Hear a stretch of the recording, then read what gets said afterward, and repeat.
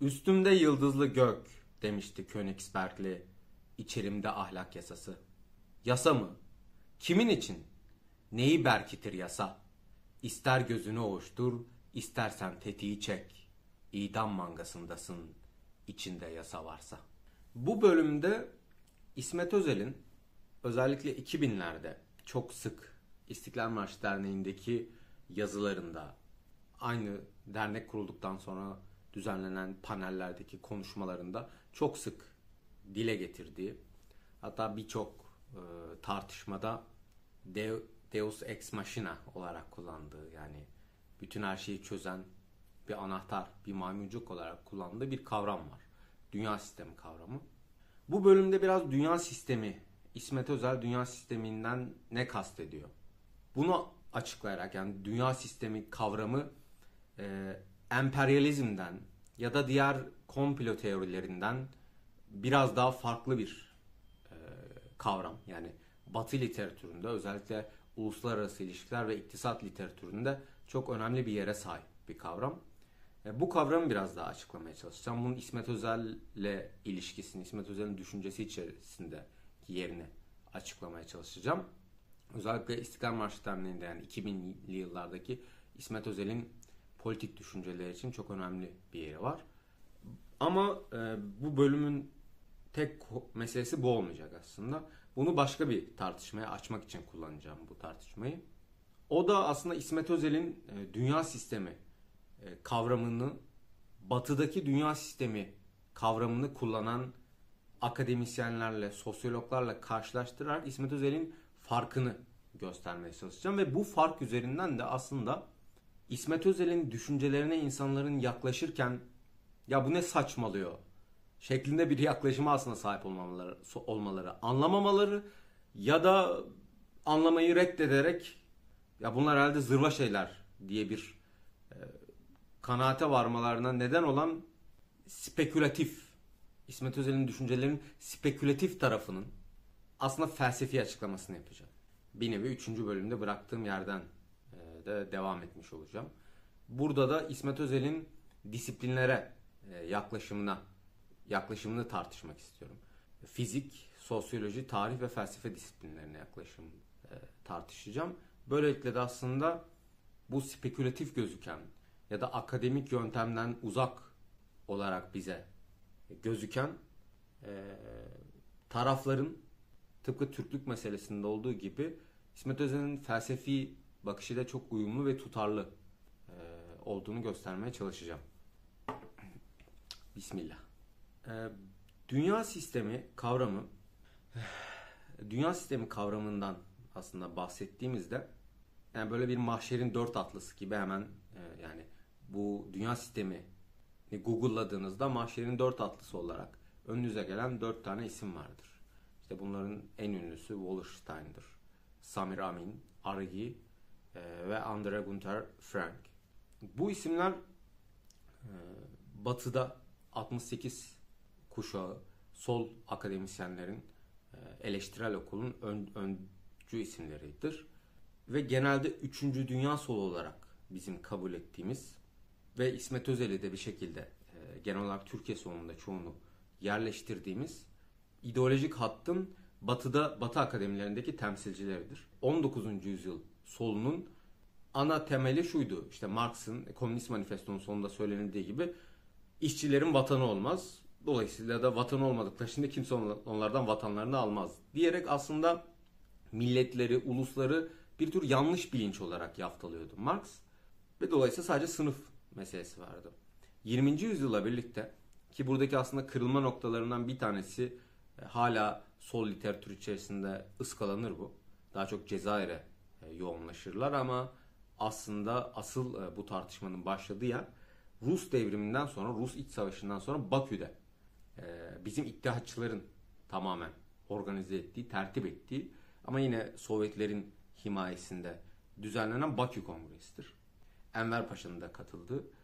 Bu kongrede tek meselenin sınıf meselesi olmadığı ezilen halklar diye bir meselenin de bir problemin de olduğu Batı tarafından e, Batı emperyalizmine, sömürgeciliğine uğranan mazlum milletler ki bu kavramı Enver Paşa çıkarır. Mazlum milletler tartışması başlar.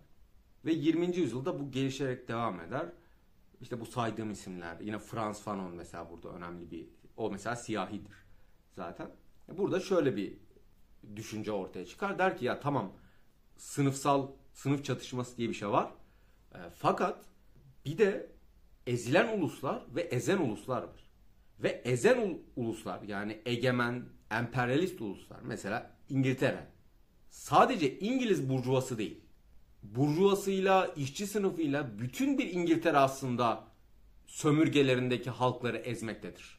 Çünkü sömürgelerden toplanan meta Britanya'ya getirilir ve eşit dağıtılmasa da bir şekilde İngiliz burjuvası kadar işçi sınıfı da Britanya'daki zenginlikten faydalanır. Dolayısıyla işçi sınıfı istesin ya da istemesin İngiliz işçi sınıfı Hindistan'daki ya da Afrika'daki İngiliz sömürgesinden pay alır. Dolayısıyla hani sadece ezen sınıf, ezilen sınıf ya da sömüren sınıf, sömürülen sınıf yoktur. Aynı zamanda söm, sömüren halklar ve sömürülen halklar vardır. İşte bunun sonucunda geliş, gelişen bağımlılık teorisi var. Ee, Samira Amin'in ve Andra, Andre e, Gunder Frank'in önderlik ettiği bağımlılık teorisi. Bağımlılık teorisi de aslında Marx ve Engels'in eşitsiz gelişim yasasının bu biraz önce anlattığım ulusalcı diskura, milliyetçi, e, antemperyalist diskura yani Sovyet sonrası, Lenin ve Mao sonrası diskura yedirilmiş halidir. Yani eş, Marx'taki klasik Marx'ındaki e, eşitsiz gelişim teorisinin burada bağımlılık teorisine dönüştüğünü görüyoruz. Bağımlılık teorisi nedir? Ee, basitçe az önce söylediğim gibi ezen uluslar ve ezilen uluslar vardır. Ezen uluslar yöneten uluslardır. Diğer uluslarda yönetilen uluslardır ve yönetilen uluslar yöneten uluslara bağımlıdır. Ve hiçbir şekilde kapitalistleşerek bu aradaki fark kapanmayacaktır. Yani nasıl ki kapitalizm içerisinde işçi sınıfının burjuva ile eşitlenme ihtimali yoksa batı dışında yani bizim işte West and Rest dediğimiz o rest dediğimiz bölge yani batının dışında kalan kapitalizmin ortaya çıkmadığı toplumlar kapitalistleşerek kapitalizmin doğduğu batı toplumlarını yakalayamayacaktır. E, Wallerstein de bunun üzerine bir dünya bu bağımlılık teorisini de içine alacak şekilde bir dünya sistemi teorisi. Dünya sistemi analizi eder o bu arada teori değil. Dünya sistemi analizi geliştirir. Bu dünya sistemi e, ki Arigi'de dünya sistemi analizlerinin önemli bir parçasıdır. Aralarında fark vardır. Kısaca bahsedeceğim ondan da. Yani dünya sistemi ne zaman ortaya çıkmıştır? Bu tartışılıyor. E, genelde bunu Wallerstein e, işte 14. 15. yüzyıla tarihlendirir.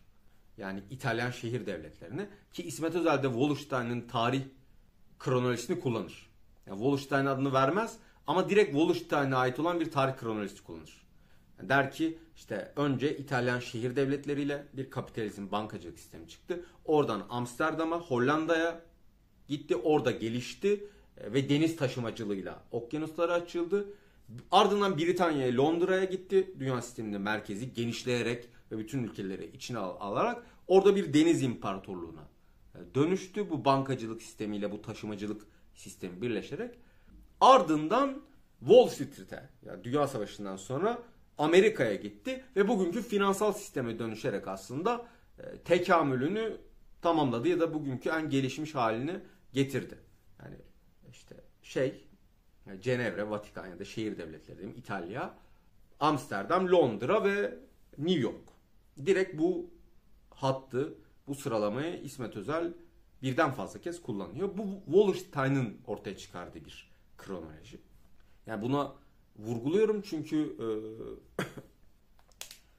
yani bu konuda tartışmalar var. Yani bu ilk patenti Wallerstein'e ait olan bir kavram. Bunu daha sonra çok geriye çektiler. İşte dünya sisteminden önce diye mesela bir kitap var. E, Vakıf Bank'tan çıkarmış olmalı.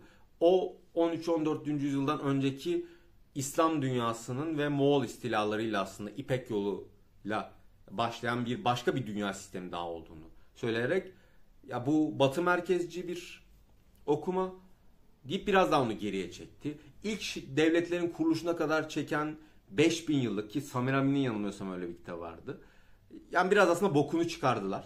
Yani neredeyse Batı merkezciliği eleştireceğiz diye bütün insanlık tarihini dünya sisteminin oluşumunun e, bir sahnesine dönüştürerek biraz aslında hem kapitalizmi akladılar veya işte Batı merkezciliği eleştireceğiz diye Batı'nın suçlarını da e, Batı dışındaki milletleri mesela Müslümanları ortak yaptılar. Ama en önemlisi yani e, yani bu, bu tarihlendirmeye çok geriye gittiğinizde artık bir şey açıklamamaya başlıyor.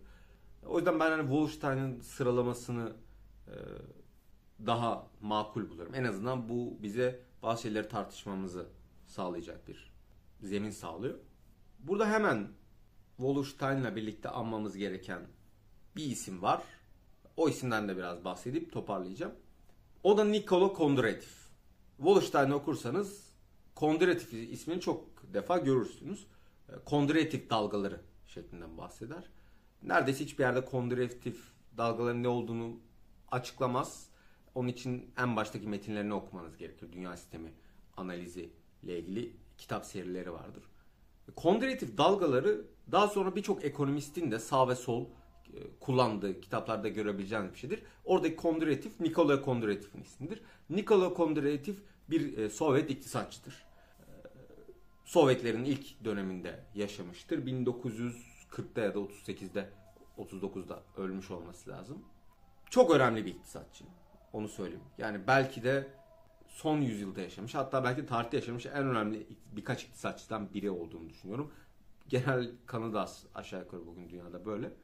Nikola Kondrativ e, kapitalizmin döngülerini keşfediyor aslında. Yani kapitalizm tarihinde uzun dalgalar dediği 50-60 yıllık döngüler olduğunu tespit ediyor yani kapitalizmin tarihinde yükselme ve durağanlaşma dönemleri var. Ki kendisi bunu hesaplayarak böyle 54 yıl gibi hatta çok spesifik bir tarihlendirme e, buluyor.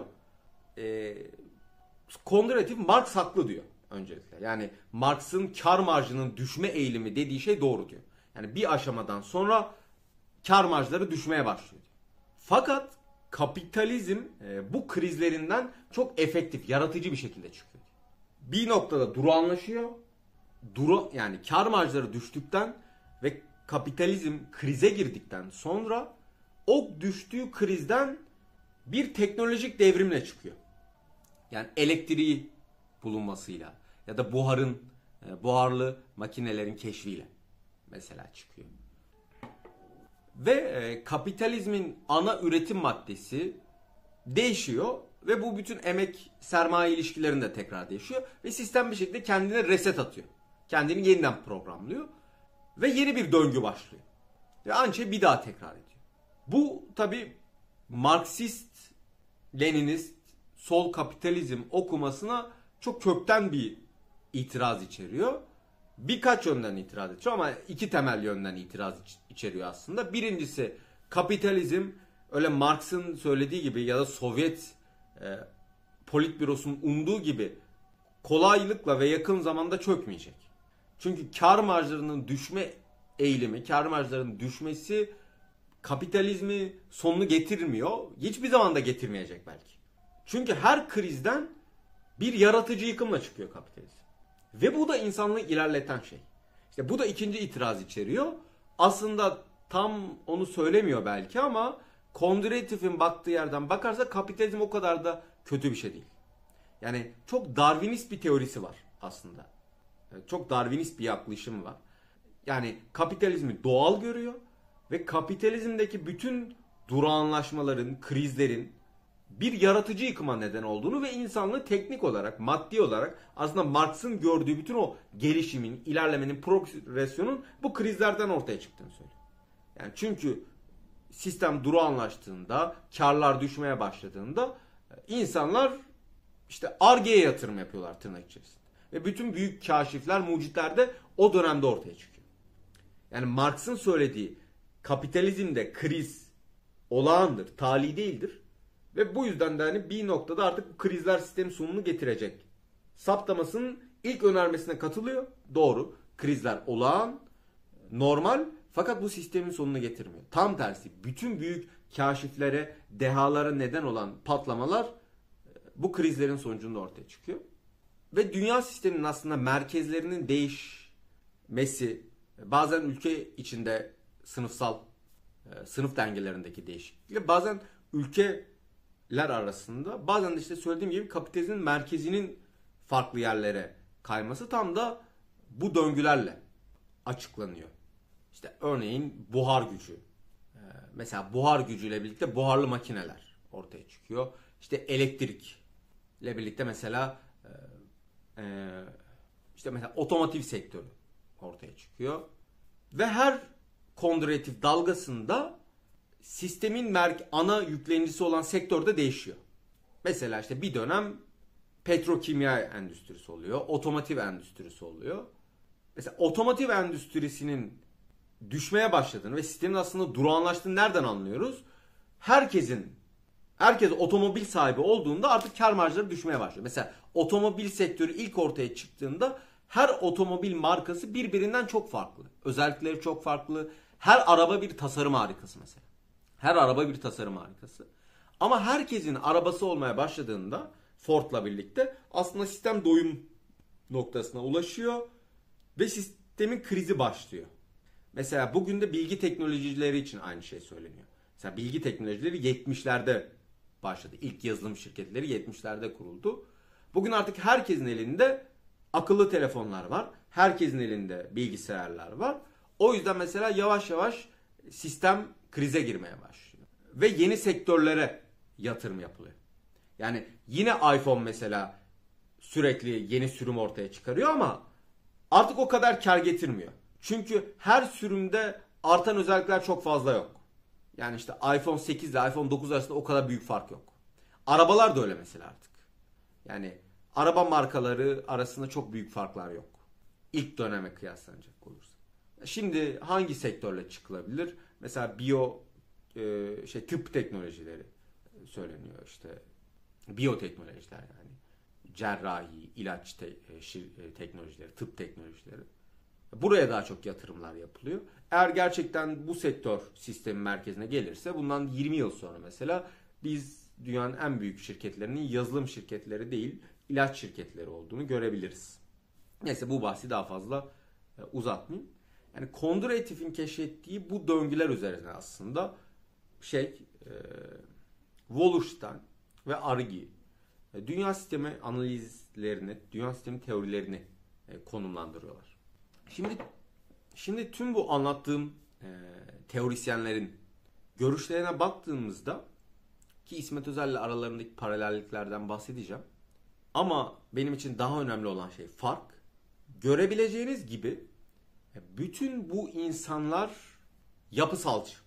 Yani Argi'de, işte ba e, Wolstein'da bağımlılık teorisyenleri Samir Amin, Andre Gunther Frank, Schumpeter, e, en başta Nikola Kondrativ. Nikola Kondrativ bu arada öldürülüyor. Onu söyleyeyim. Yani Stalin öldürüyor. Tam söylediğim sebeplerle. Yani 38'de öldü diyeyim. O, onu boş bırakmayayım. E, toplama kampında kurşuna diziliyor. E, bütün bu isimler yapısal. Yani Wallerstein dünya sistemi merkezlerinin değişimini anlatırken kondüratif dalgalarını kullanıyor.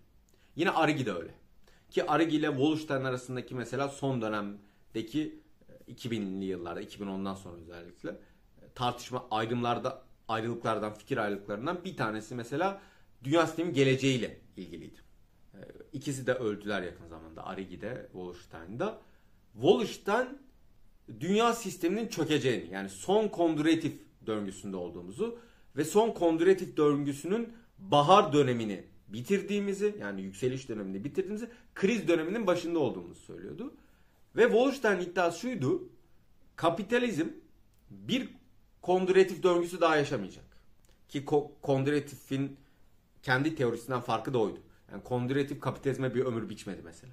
Hatta kondüratif metinlerini okuduğumuzda biraz önce söylediğim gibi daha Darwinist bir hava seziliyor. Yani kapitalizm dediğin şey sanki Adam Smith okur gibi bir doğa durumundan bahsediyormuş gibi. Ama Kon, e, Wolfstein için böyle değil. Wolfstein bir e, ömür biçiyor kapitalizme ve bilgi teknolojilerinin yerini alacak yeni teknolojilerin örneğin genetik e, teknolojilerinin işte genetik mühendisliğiyle ilgili olan biraz önce söylediğim biyo mühendisliklerle ilgili olan sektörlerin öncekiler kadar yani bilgi teknolojileri, otomotiv sektörü, petrokimya sektörleri kadar kar üretemeyeceğini söylüyor. Bu bu kadar verimli olmayacak. Yani buraya ne kadar yatırım yaparlarsa yapsınlar buradan bir medet ummasınlar. Yani bu artık dünya sisteminin son kış ve kapitalizm burada çökecek. Ki beni açıkça çok tatmin etmiş değildi. Ben her ne kadar içine doğduğumuz dünya çöküyor desem de genelde kastettiğim şey biraz daha 45'te yani 29 kriziyle 2. Dünya Savaşı sonu arasında kurulan dünya tüketim toplumu diye tabir ettiğimiz uluslararası ilişkiler e, düzleminde de Amerikan çağı, Pax Americana diye tanımladığımız dünyanın sona ereceğini söylüyorum. Dünya sistemi biraz daha büyük yani aslında kapitalizmin sona ermesinden bahsediyor. Yani bunun dediğim gibi çok ikna edici bir şey de öne sürmüyor açık söyleyeyim. Arigi ilginç bir şey söylemişti. Burada ayrılıyorlar. 2009'da olması lazım. Yani 2010 krizinden hemen önce de kriz esnasında yayınladığı bir kitap vardı. Adam Smith Pekin'de. Çok ses getirmişti. Orada da o şöyle bir şey söylüyordu.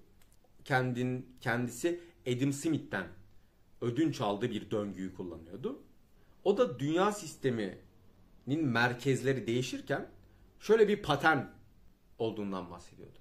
Bir devlet ya da işte bir şehir devleti ya da bir ülke büyük bir üretim kapasitesi gösteriyor. Yani üretici güç olarak ortaya çıkıyor. Ve yükselme döneminde yani kondiratif döngülerin bahar dediğimiz döneminde yükselme döneminde burası üretim üssü. Fakat daha sonra işte refahın artmasıyla birlikte tam da Marx'ın söylediği gibi kar marjları azalmaya başlıyor. Çünkü işçi ücretleri artıyor. Bunun üzerine sistemi döndürebilmek için para basmaya başlıyor ve sistem finansallaşıyor. Yani bankacılık öne çıkıyor. kredi vermeye başlıyor vesaire. Ve üretim başka yere kayıyor. Üretim nereye kayarsa bir sonraki merkez orası oluyor. Ve bir yer eğer çok finansallaştıysa orası yavaş yavaş fosilleşmeye, çökmeye, durağanlaşmaya ve sistemdeki merkezi konumunu kaybetmeye başlamış demektir. Bu aslında revizyonist bir bakış. Özellikle bütün 20. yüzyıl literatürü açısından revizyonist bir bakış Arigi'nin söylediği. Çünkü biz hep özellikle de Amerikan kapitalizmini, geç kapitalizmini finans üzerinden tanımlarız. Ki biraz önce anlattığım kronolojiyi de göz önünde bulundurursak kapitalizmi her ne kadar işte üretim işte sanayi devrimi örneğinde mesela üretime atıf yapsak da kapitalizm kapital sermayedir ve burada daha çok ön plana koyduğumuz şey bankacılıktır. Yani İtalyan şehir devletlerinin öne çıktığı şey banka sistemidir. Kapitalizmi biraz daha banka sisteminin ortaya çıkışıyla anlatırız. Çünkü sermayeyi o sağlar. Ama kapi, e, Arigi finansal güçle, finans kapitalle sanayi kapitalizmi arasında, finans kapitalizmi, sanayi kapitalizmi arasında bir gerilim olduğunu söylüyor ve aslında kapitalizm için asıl genç güç, zinde güç üretimdir diyor. Yani bizim bu küreselci, ulusalcı, ulus devletler, küreselleşmeciler kavgası gibi şeyleri hatırlarsanız e, aslında burada çok daha teorik bir e, şey var, argüman argümanları var. Bu yüzden de Amerika'nın finansallaşması yani özellikle 70'lerden 80'lerden sonra bu son büyük küreselleşme döneminde Amerika'nın tamamen bütün egemenliğini finansal genişlemeye Wall Street'e bağımlı hale getirmesi Amerikan gücünün gerilediğini gösteriyor. Ve bugün üretim, fabrikalar, üretici güçler ha, nereye doğru kayıyorsa gelecekte kapitalizmin yeni merkezi orasıdır. Ve bu da Çin'dir diyor. Yani o dönem özellikle 90'lardan itibaren Amerika'daki bütün büyük fabrikalar Çin'e gidiyor. Ki bu nedenle zaten 2010 finans krizi Amerika ve Batı ülkelerinin üzerinden geçerken Çin'in tam tersine e, krizi fırsata çevirerek Çin o ülkelerle arasındaki farkı kapatıyor. Ve nitekim e, işte Donald Trump'ı iktidara getiren süreç ve o günden beri de yani Biden'la da iktidar değişse başkan değişse de devam eden bir bütün Amerika'nın fabrikaları tekrar Çin'deki fabrikaları bazen şantaja başvurarak ki Trump öyle yapmıştı. Amerika'ya geri getirmeye çalışıyor. Ki bu da Arigi ile uyumlu. Yani burada biraz da Arigi'nin e, elinin daha güçlü olduğunu söylüyorum Wolfstein. Wolfstein bence biraz daha romantik kalıyor olabilir. İsmet Özel bu isimlerden farklı. Ee, bu isimler söylediğim gibi yapısalcı. Onlara zaten tarihsel sosyoloji diyoruz. Tarih, sosyologlar. Ve bu ekole de tarihsel sosyoloji deriz. İsmet Özel'in dünya sistemi kavramı ise yapısalcı değil. Yani İsmet Özel sosyolojiden nefret ediyor. İsmet Özel sosyologlardan da nefret ediyor. Her ne kadar Wallerstein'ın kronolojisini kullansa da ki en sonunda mesela e, son yazılarında yani 2016'lardaki, 2017'lerdeki hatta 2020'deki yazılarında mesela bu kapitalizmin, sistemin, dünya sisteminin krizinden çıkmak için egemenlerin işte genetik araştırmalarını fonladığından filan da bahsederdi. Yani bütün bu tartışmalara da yani tam aslında bugün dünya sistemi analistlerinin batıdaki eleştirel okulun isimlerini anmasa da aynı tartışmaları kendisi de yapıyordu.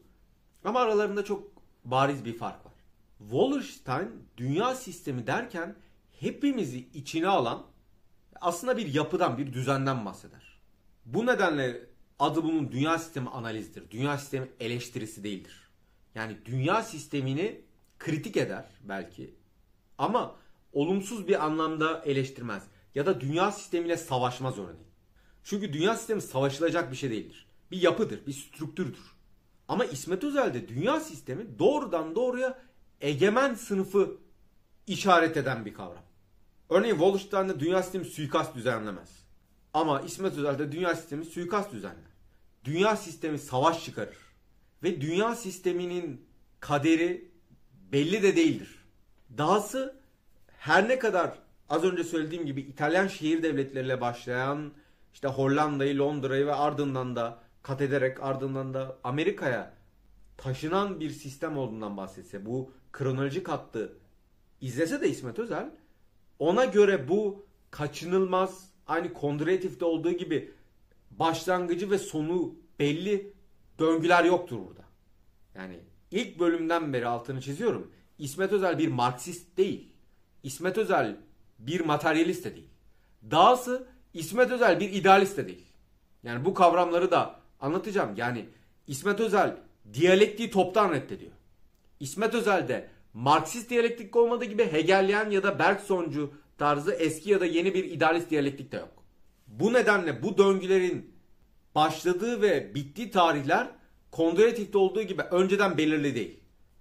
İsmet Özel İtalyan şehir devletleriyle başlayan Hollanda'ya giden ve ardından Londra'ya giden ve sonunda Amerika'ya taşınan bir sistem olduğundan bahsederken bunu örneğin yapısal döngülerle ya da yapısal gelişmelerle açıklamaz.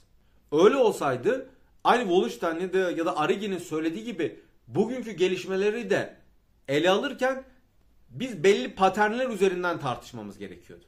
Ya Wallenstein gibi diyecektik artık sistem sonuna geldi çökecek. Kim kim ne yaparsa yapsın çökecek. Wallenstein böyle diyor yani bu sistem kurtarılamaz.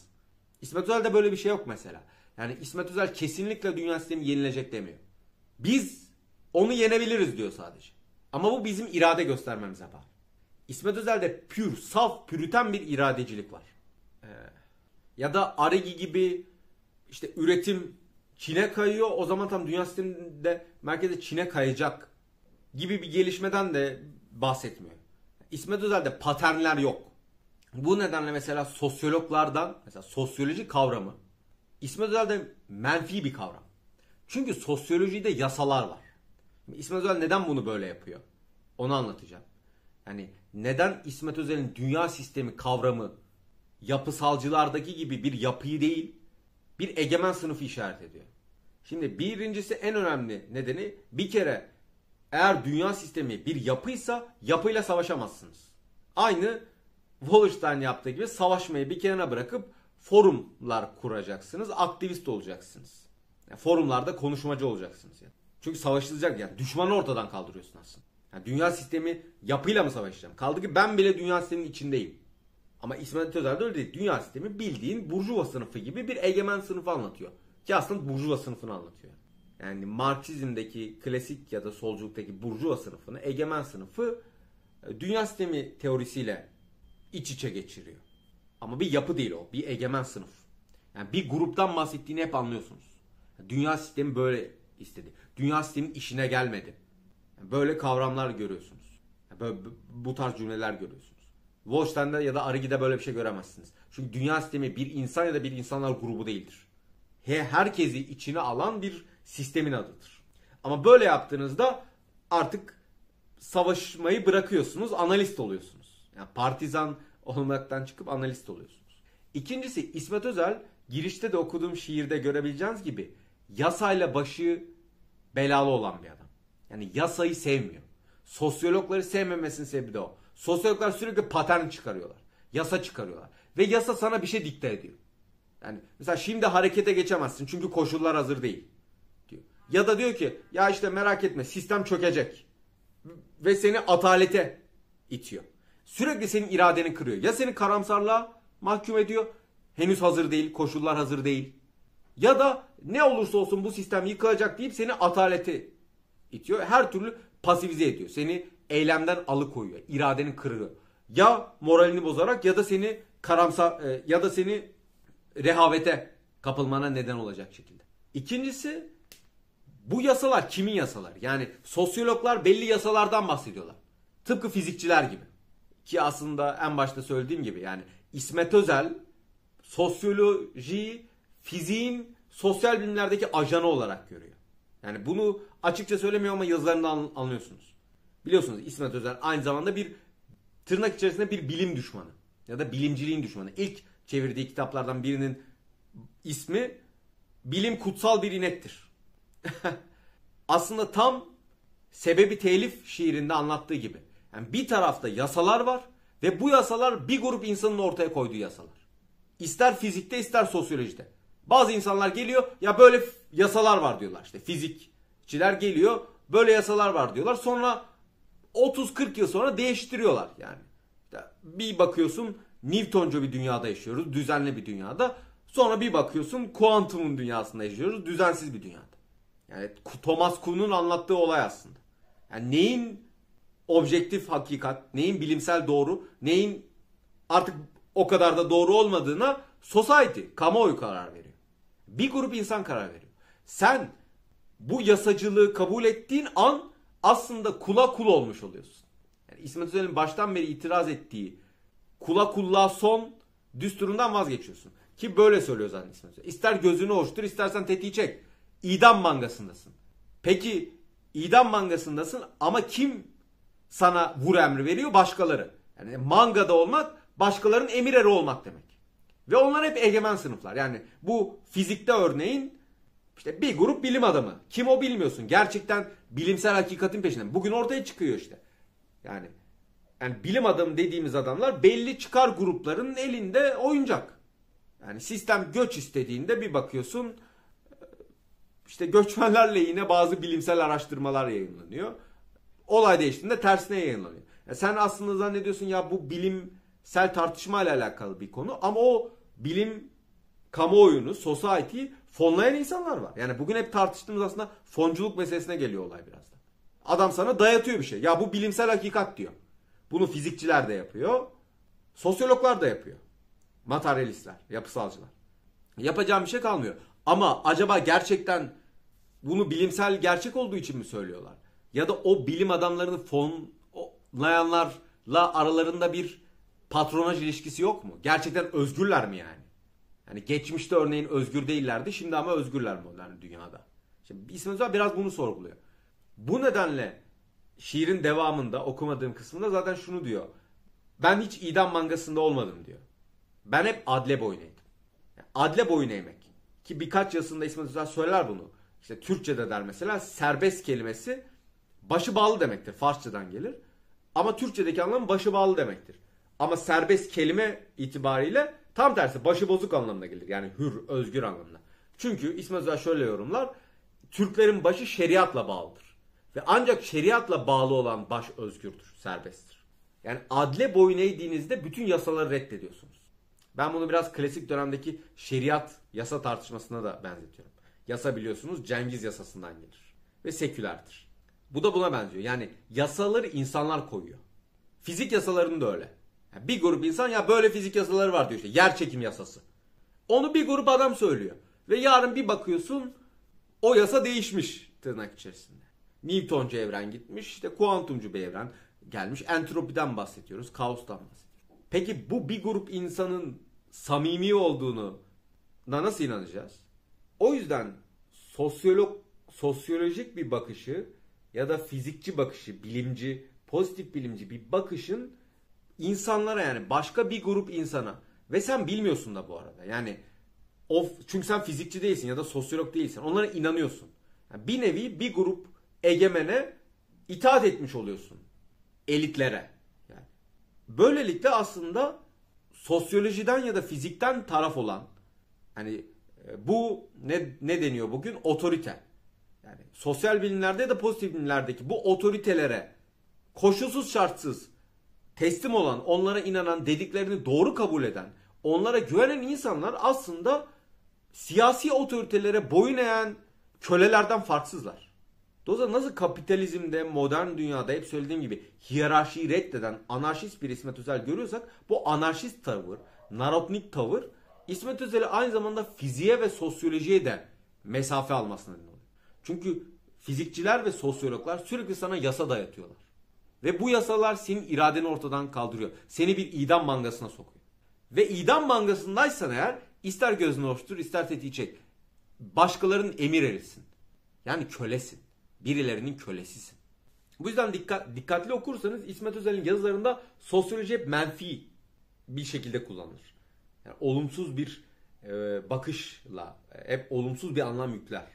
Mesela Birinci Dünya Savaşı'nı çıkışını anlatırken der ki Birinci Dünya Savaşı öyle sosyolojiyle açıklanamaz. Yani Birinci Dünya Savaşı savaşları sosyolojiyle açıklanamaz. Halbuki biz hep sosyoekonomik yapıdaki değişikliklerle açıklamaya eğilimliyizdir. Yani neredeyse herkesin üzerinde anlaştığı, bize küçükten beri okutulan bir şey vardır. Birinci Dünya Savaşı'nın çıkmasına neden olan Avusturya Arşidükü'nün öldürülmesi savaşın bir bahanesidir. Çünkü bütün koşullar hazırdır. İsmet Söze hayır der. Asıl olay Arşidük'ün öldürülmesidir. Çünkü eğer Arşidük öldürülmeseydi bir Avusturya Birleşik Devletleri kuracaktı ve bu Avusturya Birleşik Devletleri yani Avusturya bir federasyonu çevirecekti ve Avusturya Birleşik Devletleri Amerika Birleşik Devletleri'nin rakibi olacaktı. Çünkü orada farklı bir kapitalizm ekolü vardı işte Viyana ekolü diye bildiğimiz. Ve dünya sistemi yani Amerika aslında Arşidük'ü öldürmüştür. Sosyolojiyle açıklanamaz. Doğrudan ortada bir suikast vardır. Bu suikast olmasaydı tarih değişirdi. Anlatabiliyor muyum? Bu sosyolojik bakışa, yapısalcı bakışa aykırıdır. Yani çünkü sosyoloji olayları olgularla açıklama eğilimindedir. Olgu da daha uzun erimli. Brodel'in longtur, uzun zaman dediği döngülerle, maddi değişikliklerle, maddi hayattaki yapıdaki değişikliklerle açıklarız. O yüzden bir olayı değiştirdiğinizde tarih değişmez. Hatta olaylar o yapısal dönüşümlerin bir tür fonksiyonu, yansımasıdır. Yani bahanesidir. Ama İsmet Özel buna karşı çıkar. Çünkü böyle baktığınızda dünyaya insan iradesini ortadan kaldırıyorsunuz. Ve bu bir kere Müslümanca bir bakış değil. E, sorumluluk ortadan kalkıyor çünkü. Yani insan davranışları dışsal faktörler tarafından belirlenmiş oluyor. O zaman insanın iradesi neredeyse yoka indiriliyor. Ve insan yoksa yani nasıl sorumlu ola, olur? Yani insan nasıl sorumlu olabilir? Özgür ola, olamıyor bir kere. Yani yep yapısalcılık tartışmasındaki iradecilik problemine aslında geliyoruz burada. Şimdi aynı e, bu yüzden dünya sistemi kavramını kullansa Wallenstein'in kronolojisinin neredeyse birebir aynısını kullansa da Wallenstein'den burada siyah ve beyaz kadar farklı. Ve biz İsmet Özel'i İsmet Özel yapan o felsefi tavrı burada görüyoruz. Yani pürüten bir iradecilik. Aynı şeyi biz Heidegger'in teknik eleştirisiyle İsmet Özel'in teknik eleştirisinde hatta Heidegger'in teknik eleştirisine yaklaşımındaki farkta da görebiliyoruz. Yani çokça kez Türkiye'de İsmet Özel'in teknoloji eleştirisi Heidegger'in teknoloji eleştirisiyle kıyaslandı ve bir nevi İsmet Özel'e Heidegger'in Türkiye'deki şubesi muamelesi yapıldı. İşte bunlar Heidegger'in muhafazakarlar üzerindeki etkisi. Halbuki Heidegger teknoloji eleştirisinde artık teknik gelişim öyle bir noktaya geldi ki der. Teknik nicelikten niteliğe sıçradı. Yani bundan sonra teknik bizi dönüştürecek. Yani bundan sonra bizim yani araç olmaktan çıktı ve amaç haline geldi. Aparat olmaktan çıktı amaç haline geldi. Bundan sonra bizim davranışlarımızı teknik belirleyecek. İsmet Özel böyle saçmalık olur mu diyor. Bırak Heidegger'le aynı şeyi söylemeyi. Açıktan Heidegger'in de ismini anarak Diyor ki Heidegger diyor. Yani çok matap bir adam değil. Teknolojiyi tanrı yerine koyuyor diyor. Halbuki teknoloji egemen sınıfların kendi çıkarları için geliştirdiği araçlar teknolojik gelişim diye Heidegger'in anlattığı şey. Ve bu hiçbir zaman ne egemen sınıfları ne de halkı dönüştüremez. O hep araçtır. Yani başkası mümkün olamaz. Başkası mümkün ol, olursa bir yine özgürlük ortadan kalkar. Yani biz teknoloji tarafından belirlenecek davranışlarımız, bizim davranışlarımız. Özgür de değiliz artık, sorumlu da değiliz. Yani yine sorumluluğu ortadan kaldırdı. Aynı Wolfstein yaptığı gibi. Düşman ortadan kaldırıyor. Kardeşim biz kimi suçlayacağız? İsmet Özel'in bütün problemi. Kimle savaşacağız? Araçlarla mı savaşacağız? Silahlarla mı savaşacağız? Yani düşmanımız bizim şey mi? Nesneler mi? Tüfekler mi? Tanklar mı? Ya da yapı mı? Strüktür mü? Ben insanım, benim düşmanım da insandır. Savaş insanlar arasında olur. Yapılarla ya da nesnelerle, araçlarla savaşamazsınız. İkinci sorumluluğu ortadan kaldırıyor. Yani Heidegger'e kalırsa yani egemen sınıfların bile isteklerini, davranışlarını, amaçlarını teknoloji determine edecek, belirleyecek. Bir anda egemen sınıflar, bütün dünyayı sömüren sömürgenler bir anda kurbana dönüşüyor Heidegger'in teknoloji eleştirisini. İsmet Özel Heidegger'in adını anarak bunu eleştiriyor. Ama kimse görmüyor. Yani herkes sanki Heidegger'in bir şeyi kopyasıymış gibi İsmet Özel'e muamele ediyor. Siyah beyaz kadar farklı burada Heidegger'in teknik eleştirisi İsmet Özel'in teknik eleştirisi. En önemli fark da bu. Yani asla araç amaç haline gelemez. Asla araç nicelikten niteliğe o Heidegger'in nitelik sıçraması dediği sıçrama olamaz yani. Bu onun özüne, doğasına aykırı araçtır. İsmet Özel sosyolojiye tam da bu sosyolojinin tıpkı fizikteki gibi zorunlu yasalar ortaya çıkarması ve bu yasaları sana dayatması nedeniyle karşı çıkıyor. Bu yüzden dünya sisteminin gelişiminde sistemin dönüşümü hep bir etki tepkiyle işliyor. Ve bu etki tepkiler çok önceden kestirilebilen tepkiler değil. Yani kondüratif döngülerinde olduğu gibi başı ve sonu belli değil. Yani Dünya Savaşı'nın çıkışında olduğu gibi sosyolojiyle açıklanabilecek şeyler değil. İsmet Özel tarihselci. Tarihsel sosyoloji tarafında değil. Doğrudan tarihselci. Çünkü tarihte olaylar var. Olgular değil. Ha evet tarih daha sonra yapısalcı tarihe kayıyor 20. yüzyılda. Ama bu aslında tarihin bir nevi sosyoloji içinde erimesi demek. Ki en başta bu tartışmalar yapılırken e, tarihçiler direniyorlar. Durkheim o dönem çok güzel bir laf ediyor. Diyor ki tarihçiler bu savaşı kaybedecekler diyor. Yani ya direnerek kaybedecekler diyor ya da kabul edecekler ve sonunda tarih sosyolojinin bir alt dalına dönüşecek.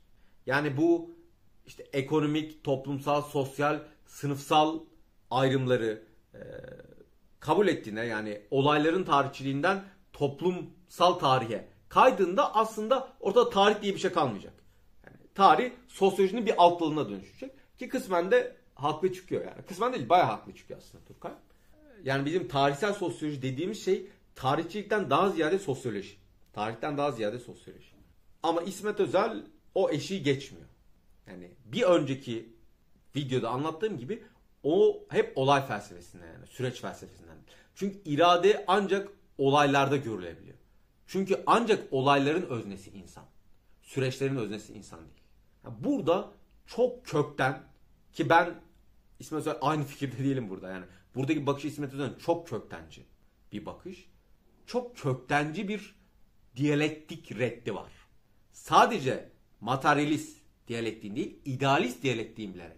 Yani döngüler hiç yok İsmet Özel. Süreç hiç yok. Yani sadece olaylar, insanlar var. Pür bir iradecilik var.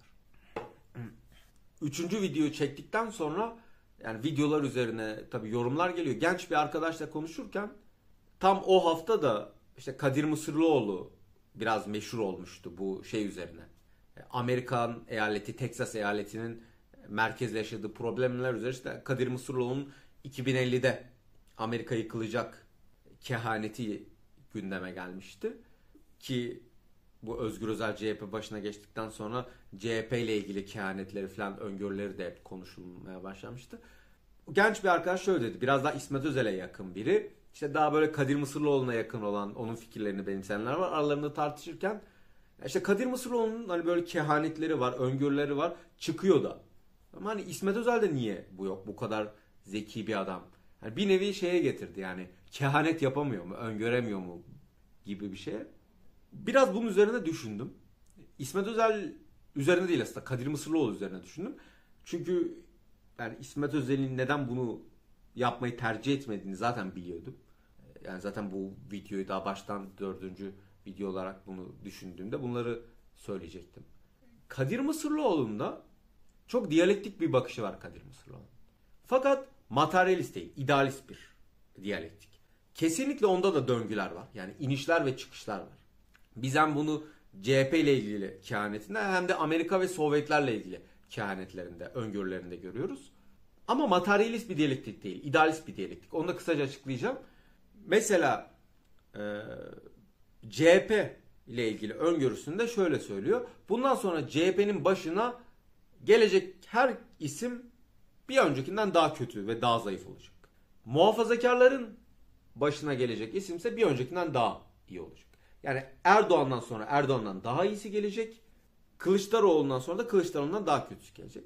Ve bunu sosyolojik, ekonomik ya da sosyal argümanlarla, sosyal gerekçelerle açıklamıyor. Yani neden böyle olacak belli değil. Sadece şunu söylüyor. Batıl, küfür diyor. Yani Atatürkçülerden bahsediyor. Sükut eğrisine girdi. Ve bundan sonra hep düşecek.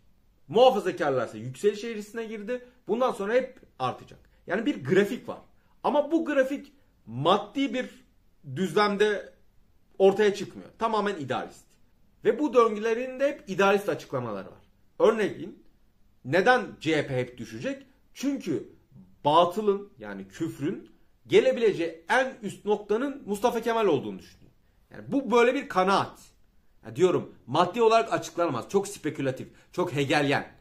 Yani tanzimatla başlayan bir küfür eğrisi var. Küfrün yükseliş dönemi. Yani kondiratifin bahar döngüsü gibi düşünün. Yükseliş döngüsü.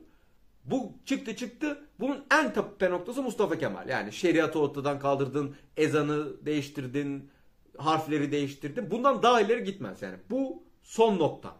Bundan sonra düşecek. Ve düşüş eğrisine girdi mi de hep düşer. Bunun maddi koşulları, ekonomik yapısı, şu bu hiçbir açıklama yok. O yüzden idealist bir diyalektik diyorum. Ama diyalektik.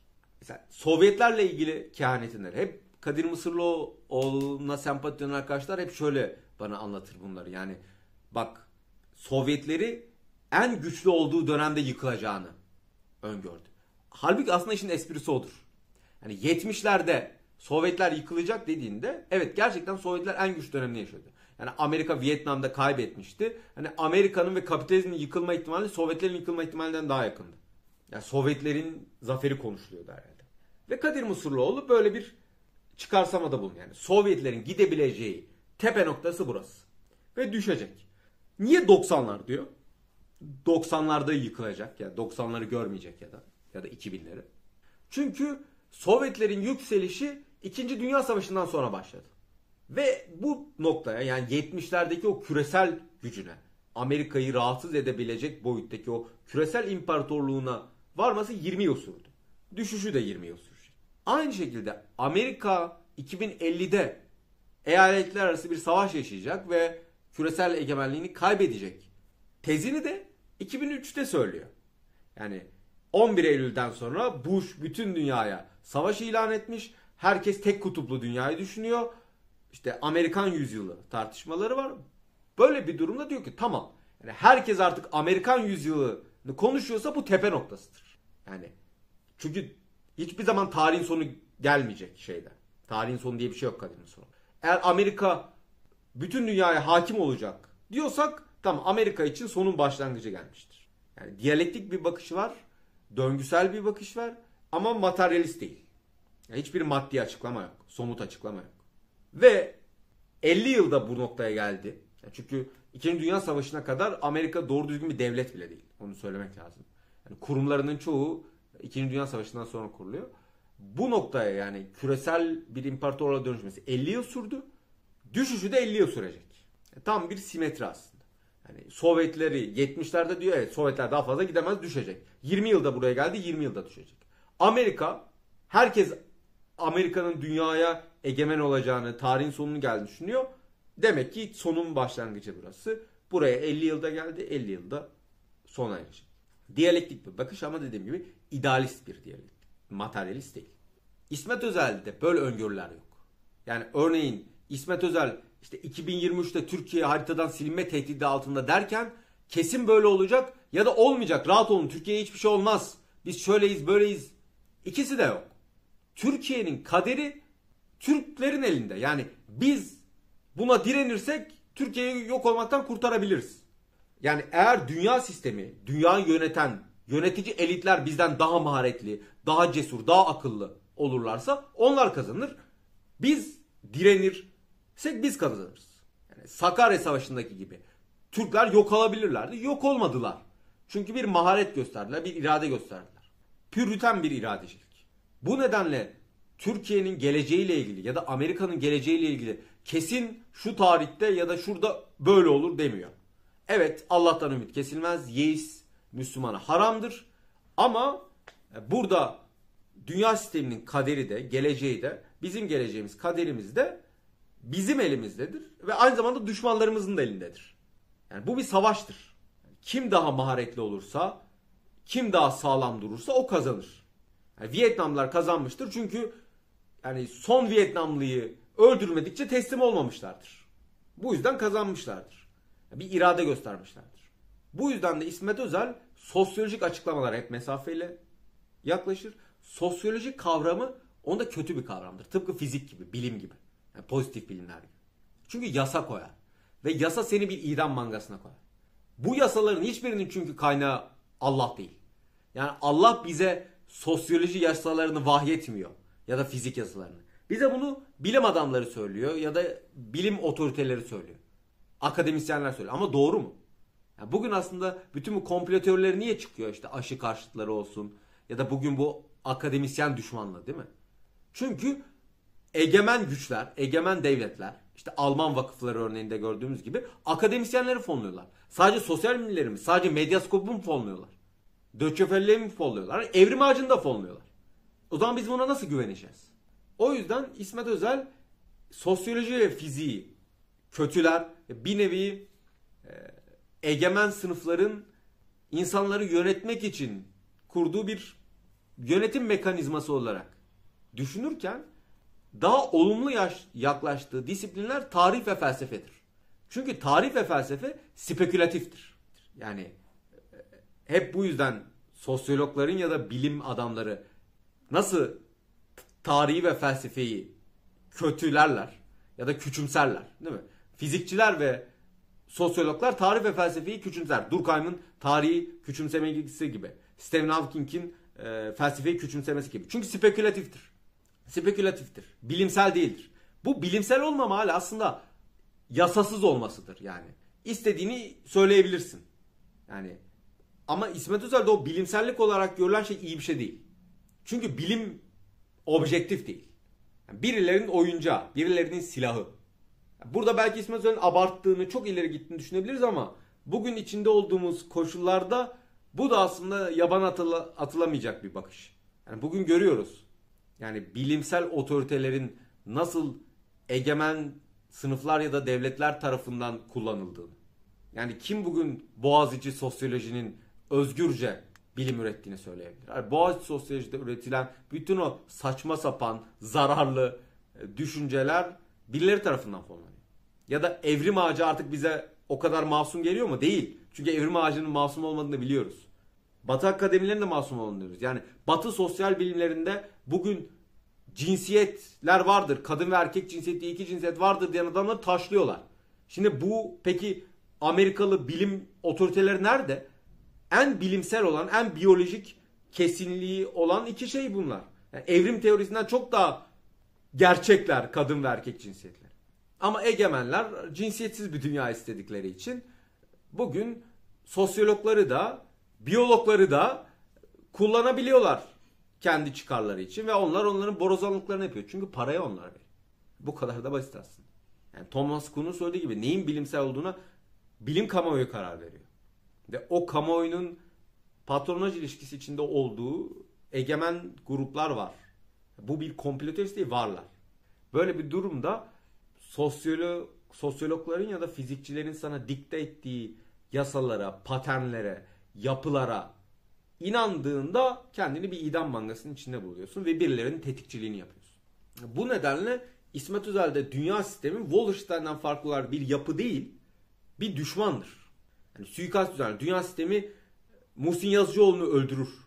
Wallerstein'de böyle bir şey yapamaz. Wallerstein'de bir yapıdır çünkü. Biz de içindeyiz onun.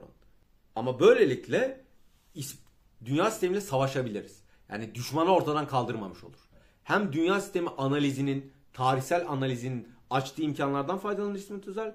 Ama onun yarattığı insan iradesini yok edici, insanı pasifleştirici yan etkilerinden de kurtulur. Bu nedenle dünya sisteminin geleceği ve bizim geleceğimiz dünyadaki egemenlerin yani bizim başımıza bu çorapları örenlerin ve bizim ne yapacağımıza bağlıdır. Yani bütün mümkünlerin kıyısındayızdır. Yani ki bu Turgut Uyar'ın Tütünler Islak kitabının başına yazdığı yazıdır. Ve İsmet Özel defaatle bunu an- anar. Yani çok sevdiği bir sözdü. Ve tam da aslında bütün bu anlattığım hikaye İsmet Özel'in bütün bu spekülatif yaklaşımlarının altında yatan dünya sistemi kavramını batıdaki sosyologlardan farklı kullanması, farklı kullanması, batıdaki sosyologlardan farklı kullanması ve çok daha komplocu bir şekilde kullanması. Bütün bu hikayenin altında yatan şey aslında yapısalcılığın, materyalizmin, tüm mümkünlerin kıyısında olma hissi. İnsanı insan yapan, insana kendini insan hissettiren, hem özgür hem de sorumlu hissettiren, dostun düşmanın belli olduğu, iyinin kötünün belli olduğu o insani düzeni ortadan kaldırma ihtimalidir. Kaldırma potansiyelidir. Yani yapı varsa o yapının o yapıyı analiz ettiğinde onun sana dayattığı belli zorunluluklar vardır. Yani tüm mümkünlerin kıyısında değilsindir. Şimdi diyeceksiniz ki e bu doğru değil mi? Yani tüm mümkünlerin kıyısında olabilir miyiz? Evet tüm mümkünlerin kıyısında olamayız gibi duruyor. E, bazı mümkünlerin kıyısında olabiliriz. Ama işte İsmet Özel'e göre insanı harekete geçiren şey o tüm mümkünlerin kıyısında olma halidir. Her şey mümkün. Yani bu konuda biraz fundamental çok ileri bir görüşü var. Yani biraz daha bu ikisi arasında ben sağduyulu bir yerde yani ortada duruyorum belki. Ama İsmet Özel'in baştan beri anlattığım bütün bu personasıyla karakteriyle çok uyumlu. Ve dünya sistemi özelinde Wolstein'lardan işte teknik eleştirisinde de Heidegger'lerden açık bir şekilde farklı. Ki Wolstein'ler solcu, Heidegger sağcı, faşist. Ama burada İsmet Özel'in ikisinden de farklı bir yerde durduğunu görüyorsunuz. O yüzden çok orijinal bir adam. Benim fikirleri üzerine düşünmeme ve bu bölümleri yapmamın nedeni olan şey de bu orijinalliği. Allah kimi yakacak cehennemde? İnsanları yakacak. Araçları mı yakacak? Yani Heidegger nasıl haklı olabilir? Wallerstein nasıl haklı olabilir? Yapıyı mı cezalandıracak Allah? İnsanları cezalandıracak değil mi? Ama Wallerstein dünya sistem analizinde de Heidegger'in teknik eleştirisinde bir anda biz egemen sınıfları kurban pozisyonunda görebiliyoruz. İsmet Özel buna karşı çıkıyor. Bu bölümü de böyle bitiriyorum. Çok uzatmadan. Burada hem bu dünya sistemi kavramı üzerine biraz konuşmak istedim. Yani bu batı literatüründe yeri olan bir kavram ve özel bir kavram. Bir tarih okumasına dayanıyor. Ama batıdaki kullanımından çok farklı bir şekilde kullanıyor İsmet Özel. Bu da İsmet Özel'i karakterini bize, düşüncesini, bakışını bize açan önemli farkları içeriyordu. Bunlardan biraz bahsetmek istedim. İsmet Özel'in düşüncelerine yaklaşırken hep bu bakışı göz önünde bulundurmayız ve bu bakışın doğru ya da yanlışlığından daha önemli olan şey bu bakışın ürettiği karakter bizim dünyadaki yanlışları düzeltmemizi sağlayacak gücü ve imkanı veriyor. Yani bu bakış belki çok uç olabilir. Romantizme kayan tarafları olabilir. Yani örnek veriyorum bu kadar pürüten iradeci olmaya gerek var mı? Yani bizim dışımızda bir dünya var, koşullar var. Bunları bu kadar reddetmeye gerek var mı? Ya da her şeyi değiştirebileceğimizi, her şeyi değiştirme imkanı olduğunu, tüm mümkünlerin kıyısında. Yani mümkünleri azaltamayız mı mesela? Burada biraz daha gerçekçi olamayız mı? Ama bütün bu çok tutarlı ve kendi içinde çok bütün bakışın ürettiği çok güçlü bir karakter var. Ve bu karakterin sonucunda ortaya çıkan fikirler, stratejiler ilginç bir şekilde gerçekçi olduğunu düşündüğümüz insanların stratejilerinden ya da konumlarından daha gerçekçi. Bir önceki videoda da anlattığım gibi yani Teoman Duralı'nın ya da Ahmet Davutoğlu'nun mesela bakışı daha gerçekçi ama fantezilere daha kolay kapılıyorlar. Ütopyalara daha kolay kapılıyorlar. Daha kolay hayal perest hamlelerde bulunuyorlar. İsmet Özel'in bu romantik tavrı, idealist tavrı yani tam tanımlayamıyorum aslında. Çok daha gerçekçi ve bütün bu dalgaların fırtınaların ortasında daha kolay ayakta kalabilen bir politik e, karakter yaratmış durumda. Biraz da bu açıdan bakmak lazım. Beşinci bölüm son bölüm olacak. Burada da ilginç bir şey yapacağım. Mehmet Akif Ersoy'un Bir Gece isimli naatıyla İsmet Özel'in naatını karşılaştırarak 19. yüzyılın sonu ve 20. yüzyılın başındaki ilk İslamcılık fazını hani Mehmet Akif Ersoy'ların parçası olduğu İslamcılığın birinci fazıyla 45 sonrasında Soğuk Savaş'ta 70'lerde ortaya çıkan İsmet Özel'in parçası olduğu İslamcılığın ikinci fazını karşılaştıracağım bu şiirler üzerinden. Ve İsmet Özel'in İstiklal Marşı Derneği'yle kurmasıyla aslında İslamcılığın bir anlamda üçüncü fazını başlattığını iddia edip biraz da İsmet Özel'in bu düşüncelerini anlamak bize ne kadar? Yani gelecek gerçekten İsmet Özel'in sadece düşüncelerini anladık ve bu kadar saçmalamadığını ikna olduk.